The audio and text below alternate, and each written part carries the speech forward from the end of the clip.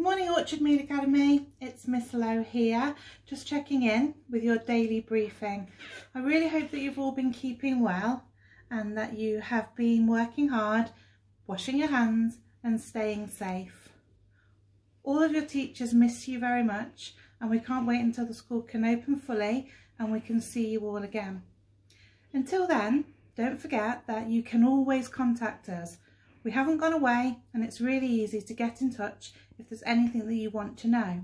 So if you wanted to get in touch with your PASCO because you had a question or a query, just something you wanted to chat about, then don't forget that you can email us safeguarding at orchard-tmet.uk or more simply, just telephone the school, ask to speak to a PASCO and we'll make sure that you get the contact from the right person.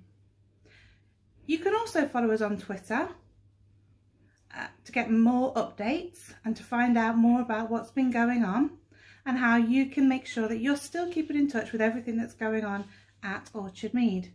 On Twitter, on our safeguarding Twitter page, we've been posting things about mental health, your well-being and other things to make sure that you continue to stay safe, happy and well during this time. On our safeguarding Twitter and on our Facebook page, we've been posting our weekly safeguarding newsletter, the PASCO Press, where PASCOs are giving advice and support for you to read each week. Obviously, we hope that you're keeping up to date with your learning. Every day and every week, new learning set for you on class charts. So do make sure that you check in regularly, that you're really giving yourself the best chance of keeping up with work while school is closed. So make sure that you have a plan for the day, get up and do some work each day at around about the same kind of time that you would normally be at school.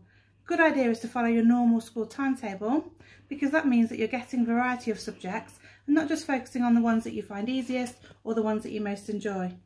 It's really important that you do your absolute best to stay motivated and keep up with work because school will reopen and we don't want you to be behind. You don't want to be behind your friends.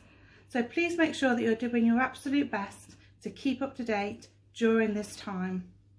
If you've got any worries about how to check into class charts or Seneca or any of your other platforms, perhaps you've lost your password, then just give school a call and we will make sure that you've got everything you need to access that work.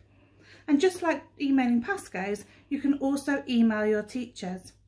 Search on our website for all your individual teachers' email addresses and if you've got a query or a question about your learning, drop them an email and they'll get back to you as soon as they possibly can. So there really is no excuse. Make sure that you're keeping up to date with learning. Make sure you're spending some time enjoying yourself too. Perhaps you're one of the Orchard students that's using this time to learn a new hobby or a new skill. If that's the case, then we'd love to hear from you. Share what you're doing and keep in touch with us. It's been really lovely to talk to you. Until we see each other again, stay safe, stay inside, keep learning, keep washing your hands. We miss you and we can't wait to see you all again. Take care. Bye bye.